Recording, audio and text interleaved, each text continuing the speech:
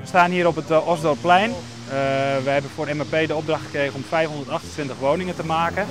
Met een verhalenhuis, Openbare Bibliotheek van Amsterdam. Met een uh, fietskelder eronder, een parkeergarage en een, een grote winkelstraat. Wat hiervoor stond was het, het Stadsdeelorkest West, Osdorpplein, van, van de gemeente Amsterdam. Wij hebben dat gesloopt en na het bouwrijp maken zijn we begonnen met een een bouwkuip maken, zodat de heimachines de palen en de damwand konden inbrengen. Vervolgens zijn we begonnen met het uh, ontgraven van, van de bouwput, dus het daadwerkelijk niveau van waar we de keldervloer op gaan maken. Want het is een gevlinderde vloer. Dat betekent dat je met eigenlijk gewoon een, een, ja, een apparaat elke keer over de vloer heen schraapt. Dus je moet er heel vaak overheen in verschillende fases van hard worden van het beton. Het proces hier was eh, in, met de omgeving best wel een uitdaging. Omdat we hier ehm, best wel met veel bewoners zitten, hebben, hebben gedacht om geluid, om trillingen.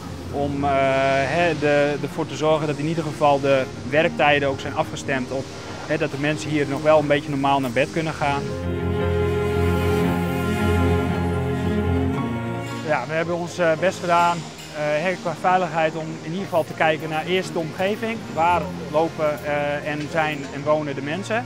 Uh, daarna hebben we gekeken naar van, kunnen we ons bouwplaats scheiden tussen de omgeving en het interne deel.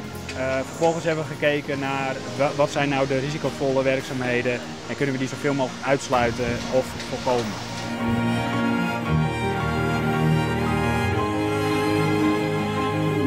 Wat voor voor de gemeente heel belangrijk is, maar ook natuurlijk voor eh, MRP en Hedders, is dat we hier een eh, zo duurzaam mogelijk eh, gebouw neerzetten. een van die dingen is bijvoorbeeld waterretentie. Dat betekent dat je het water wat valt, of het regenwater wat valt, langzaam weer afgeeft aan de, aan de omgeving. Als we hier straks in 2026 staan, dan kijk je naar een, een wooncomplex met zes woontorens en 528 woningen erin een, uh, een verhalenhuis, de retailstraat en een, uh, een binnentuin.